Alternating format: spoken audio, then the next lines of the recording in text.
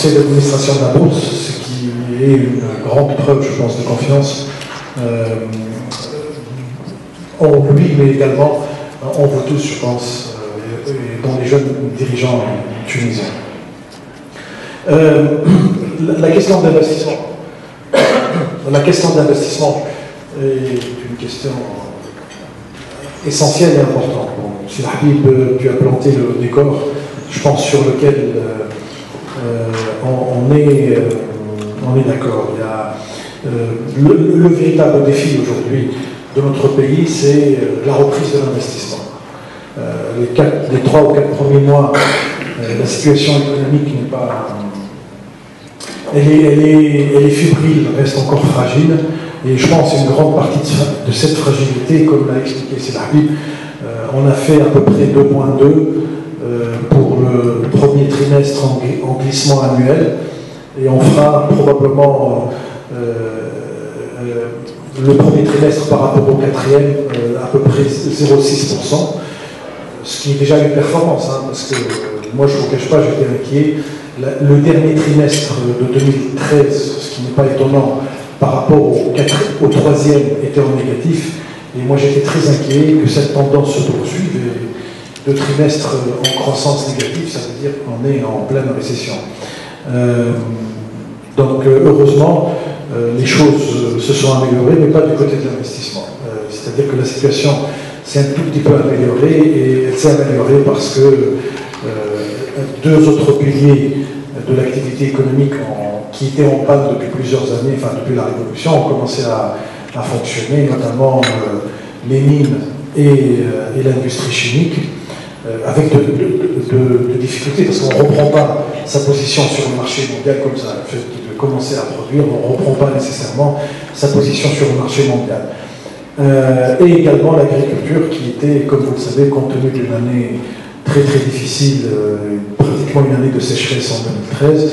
Donc euh, a, repris en 2014 et on touche du bois, mais on espère une année exceptionnelle, euh, en tout cas pour les deux grandes euh, c'est-à-dire l'huile d'olive et, les céréales, ce qui nous aiderait beaucoup, bien évidemment en termes d'équilibre interne, mais surtout en termes d'exportation pour l'huile d'olive.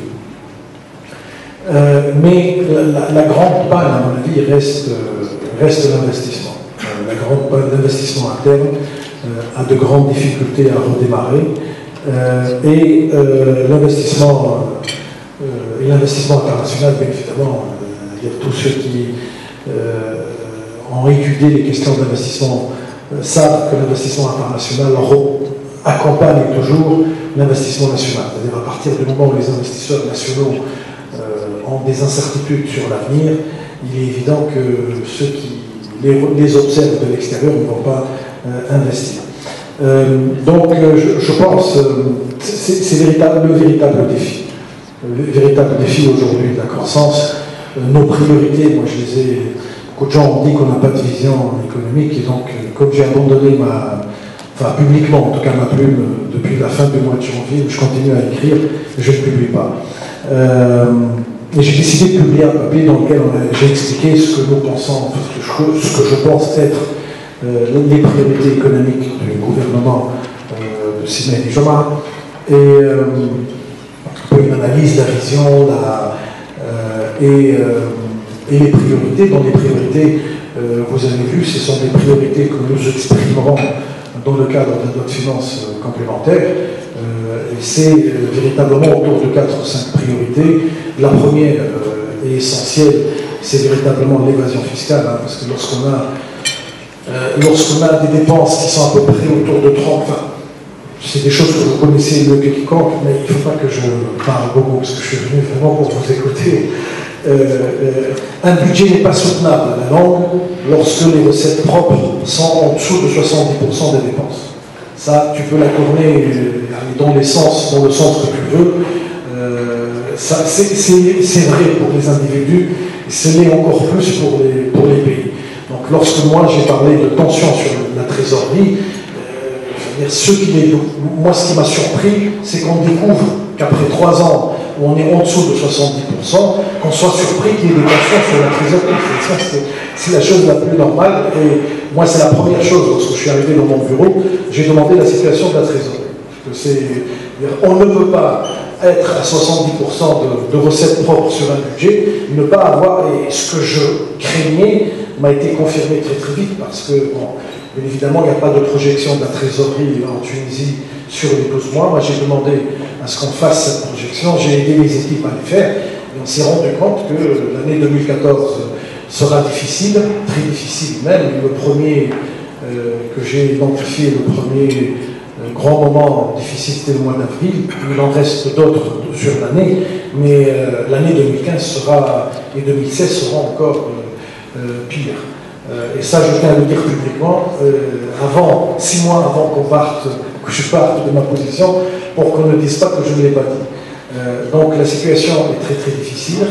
Et, donc dans nos priorités, je pense, le véritable enjeu, c'est le rétablissement des finances publiques. Donc euh, pour moi, euh, l'évasion fiscale et la contrebande sont véritablement les mots qui, euh, comment dire, on, mettra véritablement des choses vigoureuses et qui ne peut que le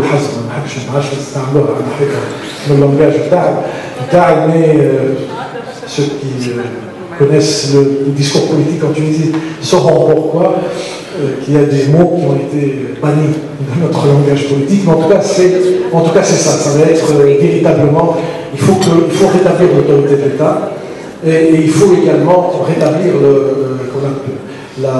l'acte citoyen de base qui est l'acte de payer ses impôts. Et, ça, moi, je suis déterminé, le gouvernement est déterminé, le chef du gouvernement l'est également. Il n'y a pas de raison que les gens ne payent pas leurs impôts et qu'ils soient en plus exigeants vis-à-vis de l'État. Euh, troisième élément essentiel, c'est euh, évidemment euh, la croissance, parce qu'autrement, un, budget de rationalisation Tachir Nafakat deviendra un, un, programme d'austérité s'il n'est pas accompagné par des mesures claires et vraiment coup de poing pour la relance de l'investissement. Je, peux en parler sur la TVA, sur les investissements d'ici la fin de l'année. C'est des choses immédiates et essentielles qu'on va mettre en place de manière véritablement donner un coup de poing. Le quatrième point, c'est les réformes, c'est Habib en a parlé. Euh, nous, on, nous a demandé de poursuivre l'audit des trois banques publiques. Moi, je pensais que ce n'était pas assez. C'est-à-dire, euh, l'audit des, trois banques publiques, il est essentiel, il est important. Les réformes sont plus importantes, mais Jamel Haj euh, le directeur de la CDC, mais on, a, on s'est dit que c'est l'occasion d'ouvrir tout toute la participation de l'État dans le financement de l'économie. Et bien évidemment, la dernière priorité, euh, priorité, c'est euh, l'inclusion sociale et la solidarité avec les augmentations du SMIC et du SMAC, avec euh, un certain nombre d'accords qui ont été conclus avec l'UJTT. Donc, dans, tout ce contexte, moi, c'est pour ça que je suis venu ici, c'est pour ça que je ne rate pas une rencontre avec les hommes d'affaires. Moi, je pense que c'est la relance de l'investissement reste le, le, qui, comme on dit en anglais, c'est vraiment le, centre, euh, la clé euh, de, la reprise. Moi, je reste optimiste quant à l'avenir de ce pays. Moi, je suis persuadé, je l'ai écrit, compte tenu du, contexte régional, compte tenu du contexte, euh, je pense que la Tunisie peut être plateforme, être le pôle d'émergence d'un espace qui a à peu près 2 milliards d'habitants, 2,1 milliards qui va du nord de l'Europe au sud de l'Afrique et, c'est à nous de le faire. Et je pense que c'est l'investissement qui doit euh, l'investissement qui doit euh, qui, doit être le moteur de cette nouvelle dynamique. Euh, très rapidement sur l'investissement, moi je pense que c'est important de, travailler ensemble pour rétablir la confiance. il y a des mesures qui seront prises. a, deuxième chose, je pense que le cœur la problématique de l'investissement, c'est véritablement les réglementations, les institutions. Moi, je, euh, vraiment, je,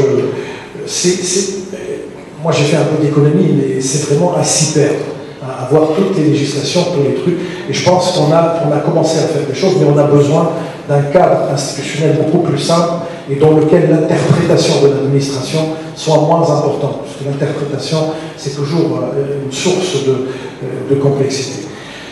Mais on a aussi besoin, je pense, de bonnes nouvelles et, véritablement, on a besoin en Tunisie d'arrêter l'autoflagellation. C'est-à-dire que moi, je vois les commentaires qui ont été faits, y compris par des dire, de grands experts, il y a aujourd'hui, les choses commencent à s'améliorer, la Constitution a été un élément essentiel, les choses commencent à tourner, c'est difficile, il faut être patient, mais il faut les suivre, il faut les, comment dire, les mettre en valeur pour qu'on puisse véritablement rétablir ce climat de confiance. Le climat de confiance est essentiel, mais moi je ne sais pas, moi j'ai vécu 30 ans à l'étranger, mais la, capacité d'autoflagellation en Tunisie, moi, je n'ai jamais vu. Euh, et je, vous donne un exemple. L'emprunt national, on décide de faire 500 millions, on fait 1 milliard. Euh, euh, bien évidemment, moi j'ai fait un peu d'économie, donc je sais, tout le monde me parle de l'effet d'éviction, les experts me parlent de l'effet d'éviction. Ils ont oublié de voir que sur le mois de mai, compte tenu des résultats que j'ai dit, que j'ai vus, je ne suis pas allé sur le marché pour prendre des bons du trésor, je ne suis pas allé au mois de juin et je n'irai pas au mois de juillet. Donc, euh, l'effet d'éviction, euh, on y a pensé un tout petit peu quand même avant.